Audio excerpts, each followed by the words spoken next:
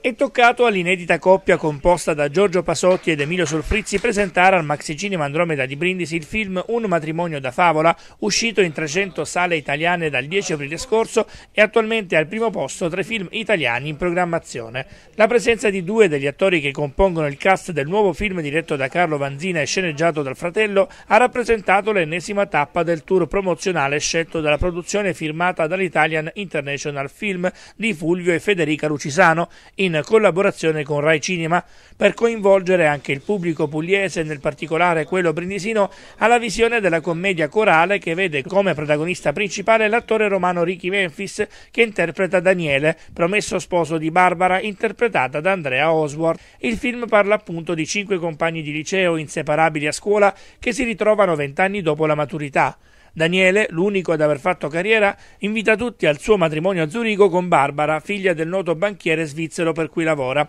Gli ex compagni accettano entusiasti e l'occasione per una rimpatriata, anche se per loro la vita non è stata altrettanto generosa. Ognuno aveva mete e sogni, ma nessuno è riuscito a realizzarli. Rivedendosi i cinque amici ritrovano il calore e la complicità di un tempo, ma si trovano anche a rimettere in gioco le loro vite e le loro aspirazioni. Durante quel lungo weekend in Svizzera avranno modo di raddrizzare i loro destini in una girandola di equivoci, situazioni comiche e rocamboleschi colpi di scena in cui i cinque faranno saltare i loro precari equilibri ed ognuno finalmente troverà il coraggio di esprimere la sua vera natura.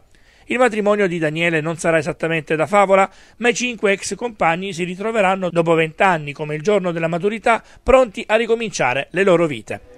Giorgio Pasotti, che nel film veste per la prima volta nella sua carriera i panni di un gay, ed Emilio Solfrizzi, che nella pellicola è un uomo sposato che nasconde spudoratamente alla moglie la giovane amante, hanno raggiunto la struttura cinematografica brindisina incontrando i giornalisti in conferenza stampa e successivamente, presentati dal giornalista Nicolo Russo, hanno salutato gli spettatori dello spettacolo delle 22.40, visibilmente entusiasti ed emozionati per l'incontro con i protagonisti del film. Se avete voglia andate a vedere Un matrimonio da favola, è un film divertente, tanti film, tanti film promettono tante cose, questo è uno di quei film che promette e mantiene, per cui due ore di sano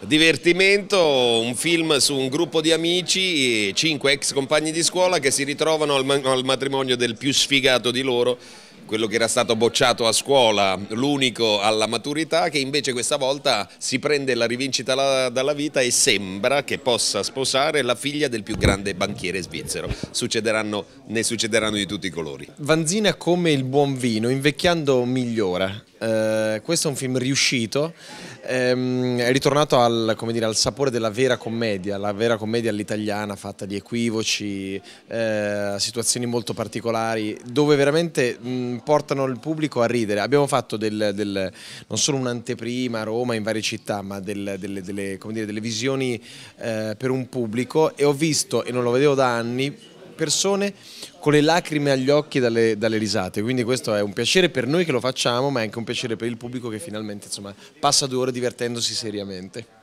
Un red carpet di tutto rispetto, insomma, che il Maxi Cinema Andromeda e Summertime Animazione Spettacolo hanno pensato per rendere ancora una volta Brindisi e la sua provincia protagonisti, regalando un modo alternativo di far vivere la città. E nulla, ribadisco, è un film che noi stiamo promuovendo. Già con Stufried per la pioggia, Ufried, veniamo da Milano e c'era un solo che spaccava le piede. Ma tu sai, io l'ho preso per scrupolo.